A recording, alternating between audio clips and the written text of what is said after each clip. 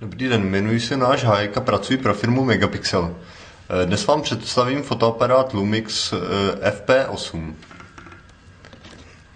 Obsahem balení eh, jsou kabely, tento je pro propojení s počítačem přes rozhraní USB, toto je audio-video kabel do televize a napájecí kabel k nabíječce akumulátoru.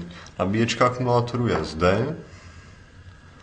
Akumulátor je ukryt ve foťáku a e, zde je krabička na akumulátor. E, dále je tady šňůrka kolem zápěstí a dokumentace, její součástí je CD s návody k použití, CD se softwarem do počítače, záruční list a návod k použití v češtině ovšem jenom základní. Panasonic eh, FP8 je zástupcem nové modelové řady, která kombinuje vlastnosti eh, jiných modelů a otvírá tak možnost volby univerzálního řešení. Tělo fotoaparátu je eh, kovové, na čelní straně najdeme objektiv umístěný zde v rohu.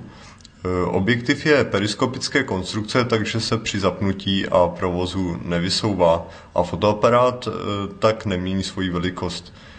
I přes tuto konstrukční vlastnost eh, si objektiv eh, z dílny firmy Leica zachovává 4,6 násobný optický zoom a eh, širokouhle ohnisko 28 mm a je vybaven mechanickým stabilizátorem obrazu.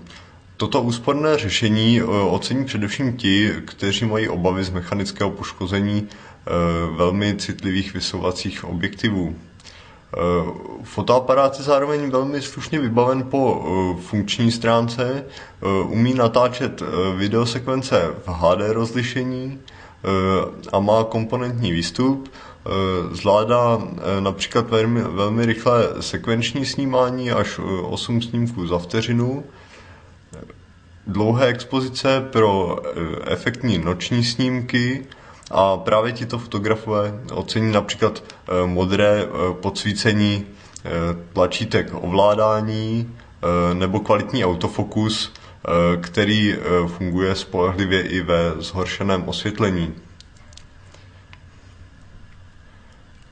K fotoaparátu doporučujeme přikoupit vhodné pouzdro a paměťovou kartu standardu SD nebo SDHC. To vše na www.megapixel.cz